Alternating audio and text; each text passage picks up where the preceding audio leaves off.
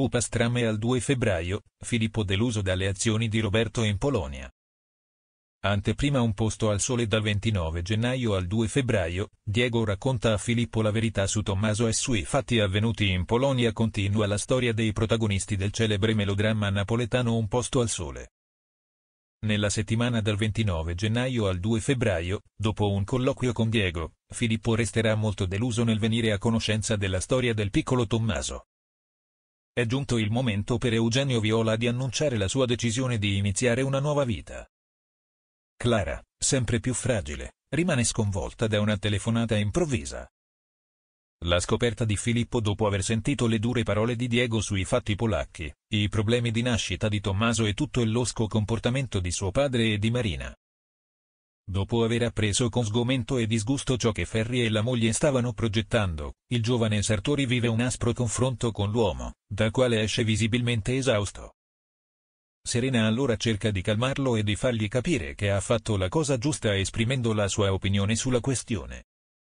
Turbata dalle parole di Filippo, Marina è costretta a prendere una decisione drastica che suo marito non si sarebbe mai aspettato. Alla fine hanno deciso di iscrivere il bambino all'asilo per ridurre la quantità di tempo che avrebbe trascorso a casa con la madre biologica, Ida, Giulia soffre di comportamenti minacciosi Giulia ha intenzione di organizzare una manifestazione nel quartiere di Rosa e Clara per fare appello ai proprietari affinché impediscano lo sfratto di molte famiglie locali. La sua iniziativa però non porta i risultati sperati, e subito dopo il suo centro d'ascolto viene investito da un vero e proprio atto intimidatorio.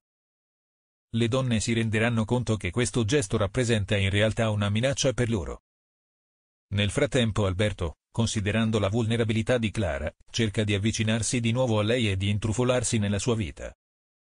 Oltre a vivere già momenti difficili, è rimasta sconvolta da una telefonata del tutto inaspettata. Devastata dalla telefonata, la donna sarà costretta a confrontarsi con le sue emozioni più nascoste.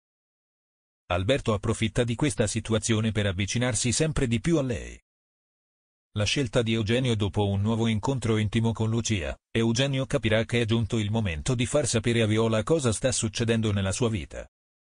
Bruni dovrà accettare senza tristezza che anche per la sua ex sia arrivato il momento di voltare pagina. Nel frattempo, la giovane Irene continua a mostrare segni di disagio interiore e le sue azioni spingono i suoi genitori a indagare ulteriormente sulla questione. La moglie resterà ancora una volta delusa dalla risposta del marito alla situazione di emergenza del Cotugno. La disputa tra Mariela e Guido però continua. Una scioccante rivelazione di Cerruti permette alla donna di prendere in mano la situazione. Successivamente i due ricevono un caloroso appello da parte di Alfredo da parte di Cotugno. La solitudine di Nunzio Nunzio sarà sicuro che i suoi sentimenti per Rossella non cambieranno mai anche dopo la sua dimissione dall'ospedale. Il ragazzo finisce per vivere momenti di vera e propria solitudine che possono costringerlo ad azioni inaspettate. Nel frattempo, il giovane medico ha intenzione di concentrarsi interamente sul suo imminente matrimonio con Riccardo. Il futuro sposo verrà a Milano per un convegno e prevede di incontrare vecchie conoscenze. Ipotesi per la prossima puntata riguardante Clara Clara, già fragile e vulnerabile dopo un recente incidente con il suo capo Edoardo Sabiese, riceve una telefonata sorprendente. Da quello che possiamo capire dall'anteprima, dopo questa conversazione inaspettata, la donna dovrà affrontare le sue emozioni più nascoste. Sebbene non sia ancora nota l'identità del suo misterioso interlocutore, è facile intuire che dietro questa misteriosa figura possa nascondersi il padre, Mariano Tregara. Tutti pensavano che fosse morto, ma l'uomo divenne cooperatore di giustizia e fu protetto in carcere.